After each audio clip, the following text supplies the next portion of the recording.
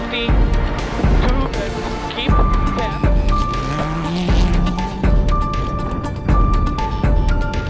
2 Staraliśmy nie mieć błędów, no trochę coś zrobili i to nie było perfektna jazda.